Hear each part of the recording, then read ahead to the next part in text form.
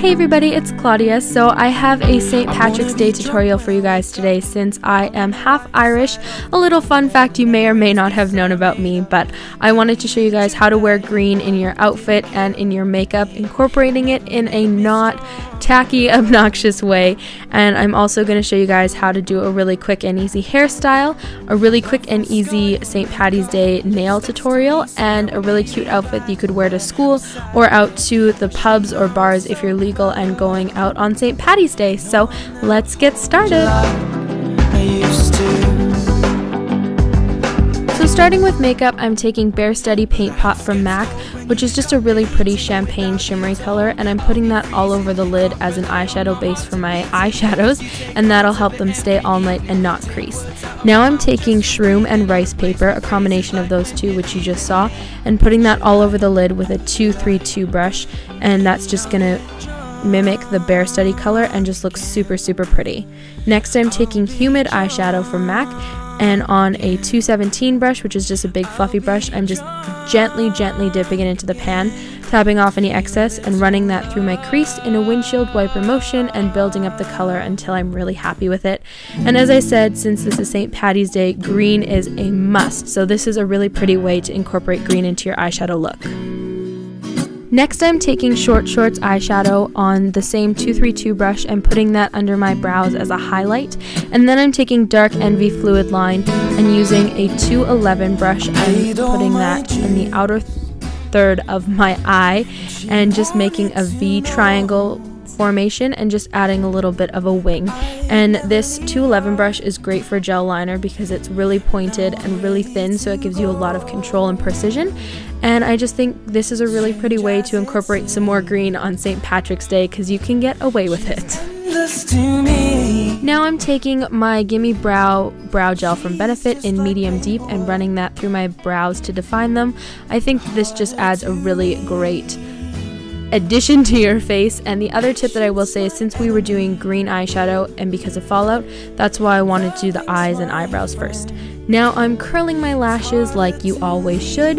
And then for my lengthening mascara, I'm taking MAC Extended Play Lash in the color Endlessly Black and just running that through my lashes a few times. And a stupid face when putting on mascara is obviously key, guys. Come on, you gotta do it. Next, I'm taking They're Real from Benefit as my volumizing mascara and putting that over top and layering that. And then I'm taking my Clinique Bottom Lash Mascara in black and putting that on my bottom lashes and kind of working my way from my outside of my lashes inside so the most product goes on your outside lashes and lengthens them first.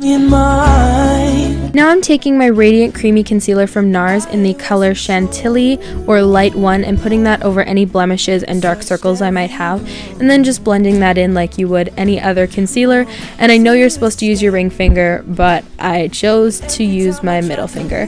Next I'm taking my MAC Studio Fix powder in the color NW10 which is one of the lightest they have, and putting that all over my face.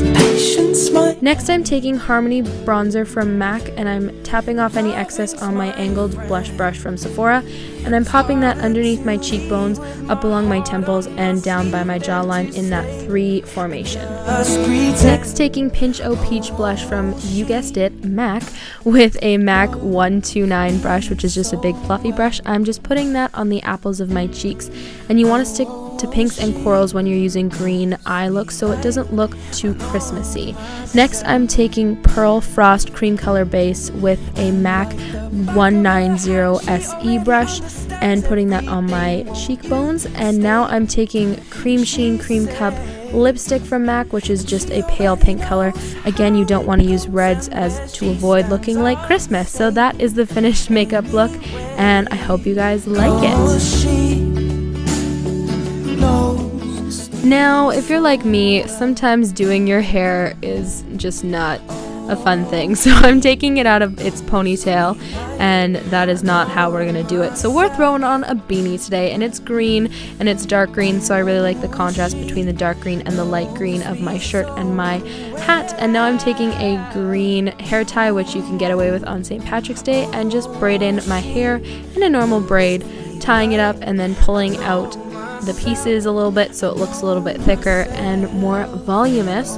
And that is it for the hairstyle. You can go ahead and curl your hair or straighten your hair or do whatever you want to, but I prefer braiding because it's a little easier and it still looks really cute.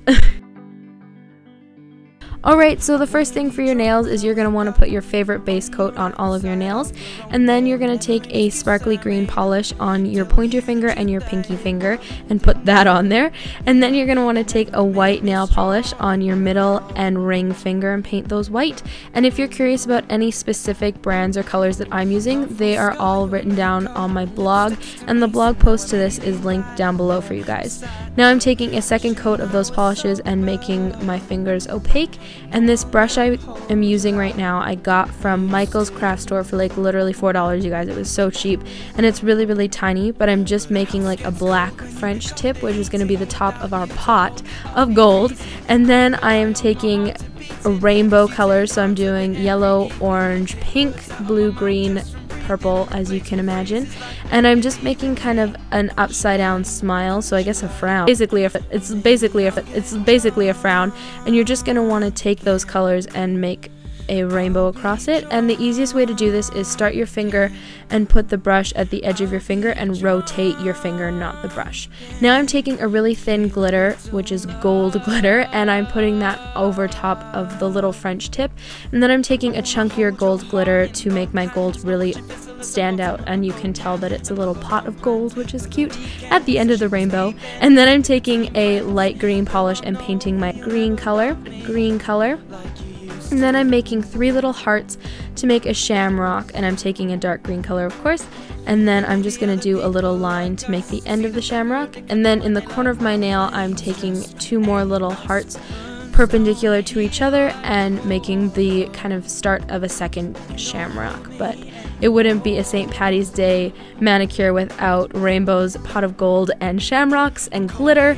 And then just taking your favorite top coat and putting that on top, and you are done, and you have your St. Patty's nails all ready to go. So, my beanie is from Free People, my tank top, my t shirt, and my cardigan are all from Aritzia. My necklace is from a local boutique. My pants are from Lululemon and they are the open heart pant. I'm wearing two midi rings from Forever 21 and my Kate Spade bow ring. So that is it for this video. I hope you guys enjoyed it. If you did, definitely give it a thumbs up so I know. Subscribe if you like my videos so you're the first to know when I post a new one.